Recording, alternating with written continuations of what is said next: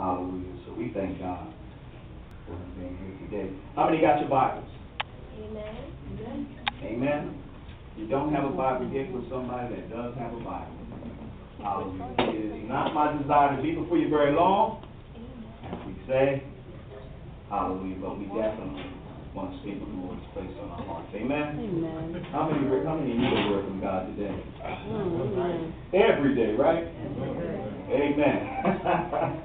They're like, God, give me something every day, bless God. This day, I gotta have my daily bread. Amen. Hallelujah. Amen. How many enjoyed Mr. King last week? Amen. Awesome, awesome, uh, man of God. Um, many of you were shocked, you didn't know he was in prison, right? A lot of people were saying, I didn't, I didn't know that. He's in prison for murder. But look at what God can do in a life of a murderer, amen? Hallelujah. So we can't be so quick to judge somebody and say, you know what, you're dying and you going to hell. You don't know what God's going to do. So our position as a church is to do what? Pray, right? Amen. Hallelujah. Bless God. I feel good this morning. Amen. God is good. Amen. Let's go to uh, Romans chapter 12, verses 1 and 2. That's a familiar text of scripture. We're going to try to go through some of the principles that the, the Spirit of the Lord gave me. Amen. And I'll just read the like the scriptures out to you. If you have something, you can write them down. You can go and check them out a little bit later if you don't get to them. Amen. Praise God. Romans chapter 12, verses 1 and 2. And while I'm sitting here saying it, my Bible's closed. Let me open it up. Amen. Bless God. Romans chapter 12, verses 1 and 2. Hallelujah. Thank you, Lord.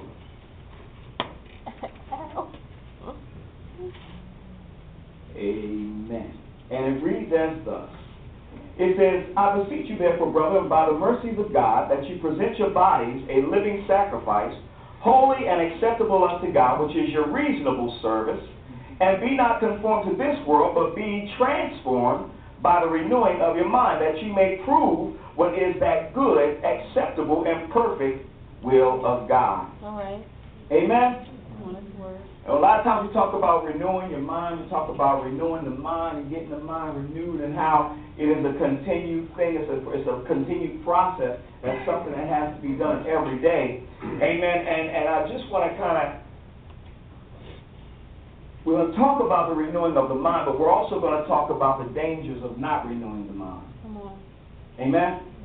Not renewing the mind. And what are the benefits of renewing the mind? Thank you, sir.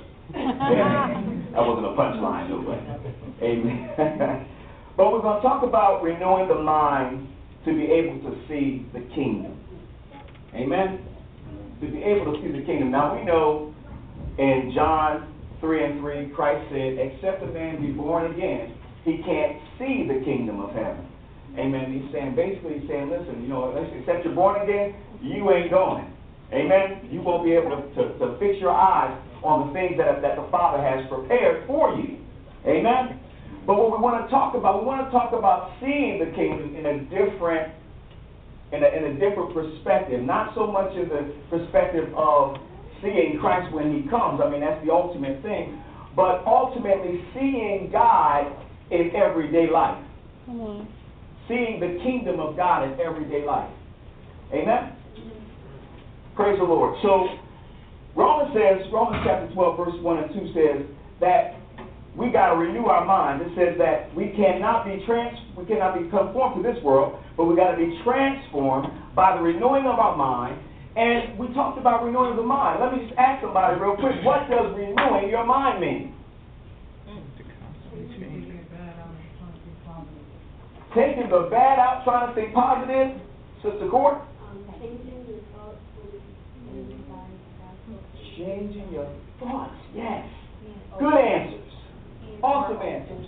I'm sorry. Being more open to others' opinions. Being more open to others' opinions. Never ending. I like that. Never ending. Never ending. Never ending. Never ending. Never ending.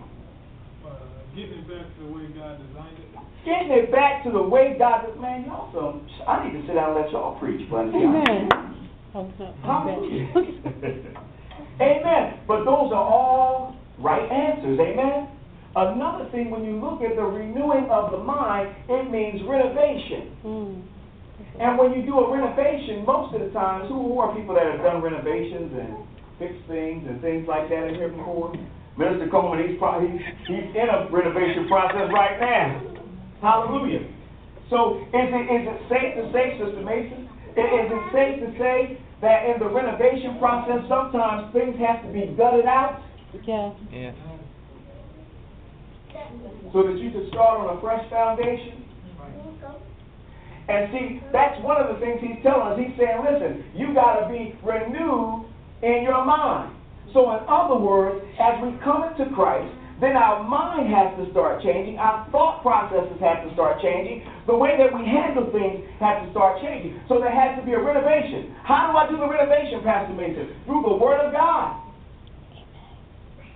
The Word of God says that the Word is powerful, quick, sharper than any two-edged sword. You ever read the Word one day and you just felt like, my God, I need to close this. My flesh don't like it right now. Anybody ever felt like that? The Word just, just stuck you real quick, as you open it up and say, Jack, ah. We close this. I don't feel that today. Oh, God. Let me go to the Psalms. The Psalms are encouraging and uplifting. They're not after my sins. ah, but yes, they are. David said, Create in me And clean. a clean heart and renew in me the right. Right spirit. Anybody had the wrong spirit before? About a thing? Had the wrong spirit, had a, had a nasty attitude? Mm. I think we talked about that this morning. Somebody came in with the wrong spirit this morning. Who delivered that? Amen. David said, Create in me a clean heart, O God. Renew, renew. Get that old nasty spirit out of me. And create a new spirit within me. Hallelujah. Amen. So, we're talking about renewing of the mind, the renewing of the mind, the renovation of the mind, tearing down some old thought processes. Also, we got to begin to submit to God. We got to begin to submit to the Holy Spirit that God gives us. Amen. Mm-hmm. And you can't override the Holy Spirit. You got to listen to Him. He's there to help. Didn't Jesus say He was a helper? He's there to help you. We got to listen to the Holy Spirit. So, what are the dangers? And before I go into that, also Matthew 16, uh, 15 and 17 kind of gives us a little example of seeing the kingdom through God's eyes. Amen? And what that's basically talking about, you don't have to go there right now, but when you get an opportunity, you can go there.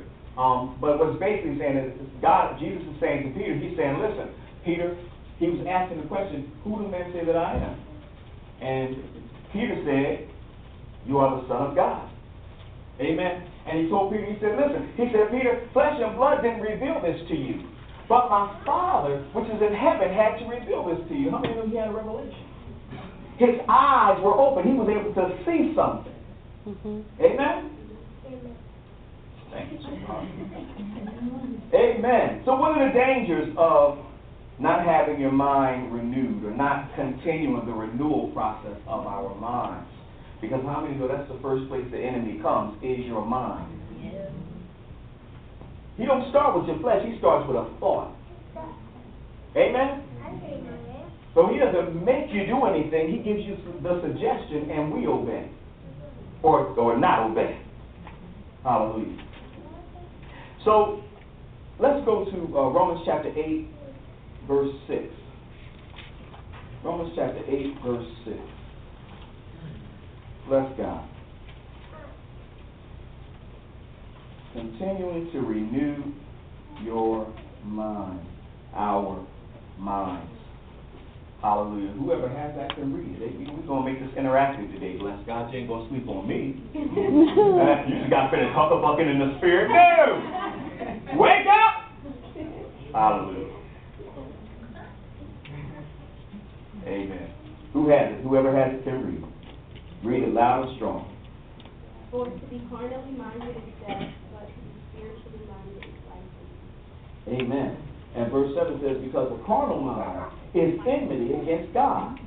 For it is not subject to the law of God, neither indeed can be. So then they that are in the flesh cannot please God. Thank you, sister. Hallelujah. That wasn't originally on there. I just had to throw that in there because it, it was just lining up. Amen. Mm-hmm. But one of the things, as, as I was beginning to pray, and I said, Lord, you know, okay, so now we're talking about renewing the mind. We're talking about the dangers of renewing the mind. And I started writing, you know, sometimes for those of us that, that, that write messages out and things like that, I started writing and I started putting down numbers and stuff because I started to go through different, different things. And the Holy Spirit said to me, He said, no. He said, before you do that, let's get one thing. I said, okay, what is it? He said, carnality.